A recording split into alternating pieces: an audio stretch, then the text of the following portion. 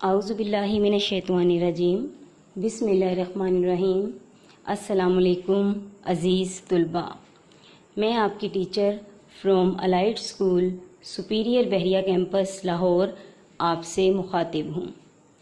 आज मैं आपके लिए सिक्स वीक की इस्लामियात की वीडियो के साथ आपके लिए हाजिर हूँ।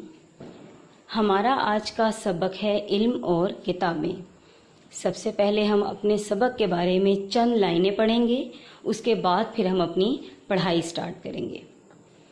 किताबें हमारी बेहतरीन दोस्त होती हैं। हम इनसे बहुत कुछ सीखते और जानते हैं। दुनिया में चार मशहूर किताबें हैं, जिनमें कुरान मजीद सबसे बेहतरीन किताब है। अब पढ़ाई की तरफ़ चलते हैं। किताबें इंसान की बेहतरीन साथी और दोस्त होती हैं। किताबों से हम इल्म हासिल करते हैं। इल्म के मानी हैं जानना। इल्म के ज़रिए इंसान अच्छाई और बुराई में फ़र्क कर सकता है। इल्म हासिल करने से हम माशरे में अच्छा मकाम हासिल करते हैं। लोग हमारी इज़्ज़त व एहतराम करते हैं। हमारे प्यारे नबी सल्लल्लाहु अलैहि वसल्लम ने भी इल्म हासिल करने पर ज़ोर दिया और फरमाया, इल्म हासिल करना हर मुसलमान पर फ़र्ज़ है। इल्म ही की वजह से अल्लाह ताला ने इंसान को दूसरी तमाम मखलूक़ात पर फजीलत दी है। अब इस पैराग्राफ में ये बताया गया है कि किताबें हमारी बेहतरीन दोस्त हैं, हम इनसे इल्म हासिल करते हैं और बहुत कुछ जानते हैं। हमारे प्यारे नबी सल्लल्लाहु अलैहि वसल्लम ने हर मुसलमान पर इल्म हासिल करना फ़र्ज़ फरमाया है और इसीलिए हम सबसे अफजल मखलूक हैं। इल्म हासिल करने का बेहतरीन ज़रिया किताबें हैं, क्योंकि हमत और दानाई की तमाम बातें किताबों में महफूज होती हैं। हमें इल्म के ख़जानों, यानी किताबों की हिफाजत भी करनी चाहिए। किताबों को पढ़ते हुए उनके सफ़े एहतियात से पलटें, और अगर किताब की कोई बात अच्छी लगे तो पेन की बजाय पेंसिल से निशान लगाएँ, या किताब के आखिरी सफ़े पर नोट कर लें। इसी, इस तरह किताब ख़राब नहीं होगी। अब इस पैराग्राफ में बताया गया है कि हम किताबों से बहुत कुछ सीखते हैं, इसलिए हमें इन, इनकी एहतियात करनी चाहिए। जैसे पढ़ते वक्त किताबों के सफ़ों को बहुत एहतियात से पलटें, ताकि सफ़ा ख़राब ना हो, और अगर कोई बात अच्छी लगे तो उसको पेन की बजाय पेंसिल इस्तेमाल करें। ठीक है? अब आखिरी पैराग्राफ पे चलते हैं। किताबों की हिफाजत के साथ उनका एहतराम करना भी ज़रूरी है। यानी किताबों को ना सिर्फ़ पढ़ना चाहिए, बल्कि उनमें मौजूद अच्छी बातों पर अमल भी करना चाहिए। दुनिया की बेहतरीन किताब कुरान मजीद है। हमें कुरान पाक की हिफाजत के साथ उसका एहतराम भी करना चाहिए। यानी उसकी तालीमात समझ कर उन पर अमल करना चाहिए। अब इस आखिरी पैराग्राफ में बताया गया है कि हमें चाहिए कि किताबों में जो पढ़ें, उस पर अमल करने की कोशिश करें, ठीक है, ताकि हम अच्छे शहरी बन सकें। अब हमारी पढ़ाई कंप्लीट हो गई है। जब हमारी पढ़ाई कंप्लीट हो जाती है तो हम तारीख लगाते हैं, ठीक है? तो आप लोगों ने यहाँ पर तारीख भी लगानी है। उसके बाद सवाल नंबर एक है, दुरुस्त जवाब के आगे गुड और गलत जवाब के आगे क्रॉस लगाएँ। किताबें इंसान की बेहतरीन साथी हैं। सही। इल्म के मायनी हैं अमल करना, गलत।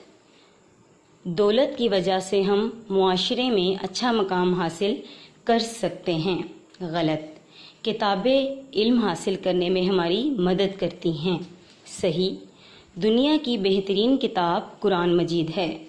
सही। सवाल नंबर दो है, सवालात के जवाब लिखिए। सवाल नंबर एक है, इल्म के क्या मायने हैं?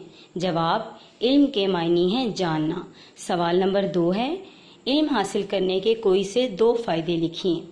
जवाब है, नंबर एक, इल्म हासिल करने से हम मुआशरे में अच्छा मकाम हासिल करते हैं।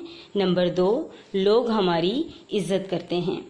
सवाल नंबर तीन, हमें किताबों की हिफाजत कैसे करनी चाहिए? जवाब, हमें चाहिए कि उनके सफ़े एहतियात से पलटें पेन की बजाय पेंसिल से निशान लगाएँ। सवाल नंबर चार है, किताबों का एहतराम करना क्यों ज़रूरी है?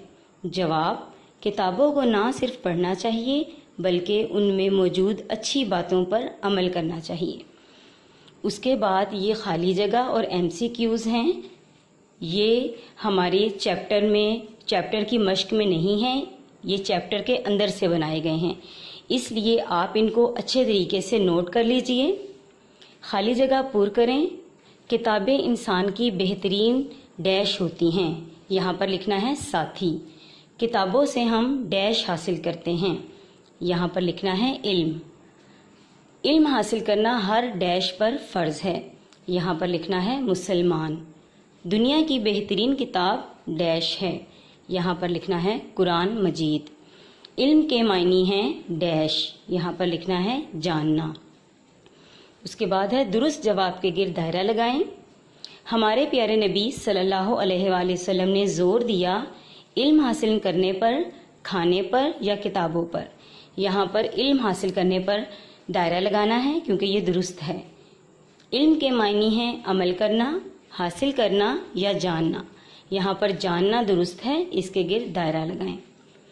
इल्म के ज़रिए इंसान फ़र्क कर सकता है दोस्तों में, अच्छाई और बुराई में या बच्चों में। यहाँ पर अच्छाई और बुराई में दुरुस्त है, इसके गिर दायरा लगाएँ।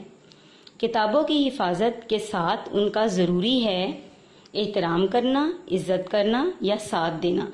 यहाँ पर एहतराम करना दुरुस्त है, इसके गिर दायरा लगाएँ।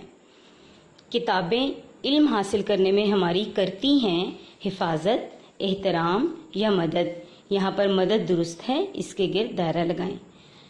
अब हमारी पढ़ाई भी कंप्लीट हो गई है, मश्क भी कंप्लीट हो गई है, और ये हमारा चैप्टर में से जो हमने खाली जगह और एम सी क्यूज यहाँ पर लिखे हैं, ये भी कंप्लीट हो गए हैं। अब आप लोगों ने कॉपी पर काम करना है, इसको अच्छे तरीके से नोट करना है, सवाल जवाब लिखने हैं, खाली जगह लिखनी है, ये दुरुस्त जवाब के गिर दायरा लगाएँ, ये भी लिखना है, गलत दुरुस्त भी लिखने हैं।